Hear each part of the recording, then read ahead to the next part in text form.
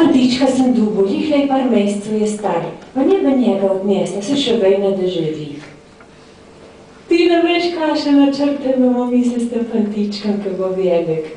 20 angelnuga mirka, ti boš. And then he says, oh, why, why wouldn't you take a, a, a grandfather? He's really old and, you know, it's time for him to go. Oh, God knows when he will call your grandfather to go. You will have to go with me. And then she says, he says, oh, well, oh, uh, I got, you know, a few months old newborn son. You know, he doesn't even know that he's living. Why don't you take him? Oh, we have plans, plans for this boy. You know, when he will be grown up, he will do giant good deeds to the world. Twenty angels have taken care of him. You will have to go. And then he realizes that he will have to go with her. Wouldn't you have us some drink or a glass of wine before we go? Why not? she said. She went into the cellar and she said, Here I have a nice sweet Sauvignon. And she took the whole barrel and drank all the barrel to the bottom. And she thought maybe I will make her drunk and I will not have to mm-hmm. leave. And would you, would you like another glass? She said, Why not? And she took the second barrel and emptied it to the bottom. And then really she was like hardly standing this. It's nothing. it's time to go. And when the, she started drinking the third barrel, she couldn't drink, drink all. She had fallen down to the ground. And so Tomasz didn't wait a second he took her gently and put it in the barrel and fixed it and put it in a corner of the cellar. Now he had a nice deep breath in his life. But years has passed, and God was wondering what's happening on the earth. Nobody's coming upstairs, and nobody's dying down there. And when he took his mirror through which he sees everything, he realized what Tomasz has done. And he writes the letter. Dear Tomasz, it's not good. You should let her work, her own work.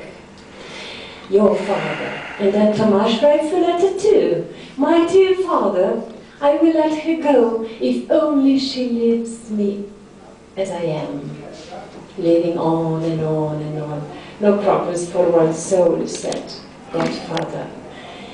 And then he opened the barrel, and White Lady started cutting for seven years. Lots of people died. But our Tomasz, happy, he could live on and on and on and on, but he only forgot something. When he was 200 years old. All his friends were gone. He was hardly alive, he hardly could stand his body. And then one day he kneeled down and prayed, Oh, Father, please take me now, I'm ready to go. But God said, Oh, that's nice. But it's not me who takes souls to come upstairs. You have to find the right lady. But I don't know, it won't be easy job because I told her not to take you. So he took his stick and started walking around the world for the white lady. And if he hadn't found her, he's still searching for her. Tomasz zabijał sudično, oj sudično, oj sudično. Prišla je k njemu bila smrť, Tomaša vždal kejvinca pit. Kdor hoče sladkovice pit, ta mora bele petice štet. Jaz pa ne znam petice štet, pa vendar hočem vince pit. Tomaš se na to razsrdi, pa božja dekla vsoc maši. Oj, noter je bila leta tri, oj, leta tri, oj, mesece tri. Prišla je pošta od Boga, Tomaškam z božjo deklo tja. To so sfulne pevce. Na svetu benga mrliča bi v nebesa mene duše ni. It's a bit horrible for, for the Nein, evening. du kannst Foto machen. Yeah. So I, it's my time off, sorry. Can I give you another one? Sure. Yeah, okay, thank you. I would, I would like very much to So teach you a Slovenian creation myth story, how the world was created. To, If I to, may. to, to je Blickpunkt.